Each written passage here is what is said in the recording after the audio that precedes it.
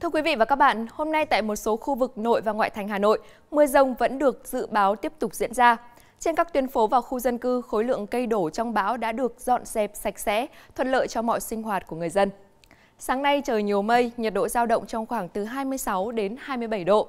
Từ 10 giờ, nhiệt độ tăng nhanh lên mức là 30 và 31 độ và đạt lên tới mức cao nhất là 32 và 33 độ vào giữa trưa và đầu giờ chiều.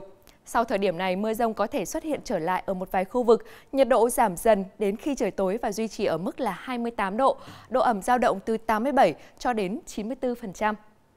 Những cơn mưa xuất hiện hàng ngày cùng với độ ẩm cao chính là môi trường cho các yếu tố gây bệnh phát triển và lây lan nhanh. Theo Cơ quan Khí tượng Thủy văn Quốc gia, từ nay đến hết tháng 9, trên khu vực Biển Đông có khả năng xuất hiện từ 1 đến 2 cơn bão, tập trung vào 10 ngày cuối của tháng 9 và có thể ảnh hưởng đến khu vực Bắc Bộ và Bắc Trung Bộ. Đồng thời, cảnh báo có nguy cơ cao xảy ra mưa lũ dồn dập ở Trung Bộ trong thời kỳ mưa lũ tháng 10 và tháng 11 năm nay.